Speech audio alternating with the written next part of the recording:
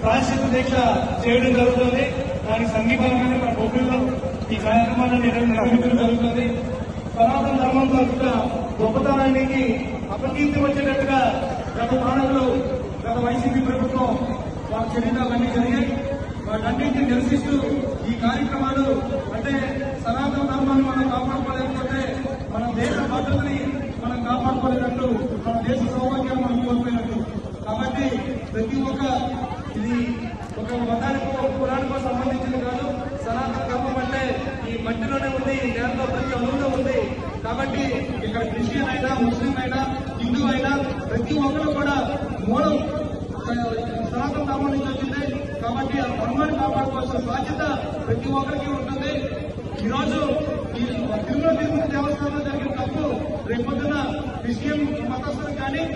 లేకపోతే ఇస్లాం మతస్థులు కానీ ఏమి ఏమి వచ్చినా ఇదే విధంగా జనసేన పార్టీ కానీ తెలుగుదేశం పార్టీ కానీ భారతీయ జనతా పార్టీ కానీ అందరం కూడా ముక్త కట్టంతో అండగా నిలబడతామని చెప్పి మరొకసారి మీకు తెలియజేసుకుంటూ ఈ కార్యక్రమాన్ని ఉద్దేశించి మన పెద్దలు శ్రీ రాహుల్ రాహుల్ నాయుడు గారిని మాట్లాడుతున్నా కోరుకుంటున్నాం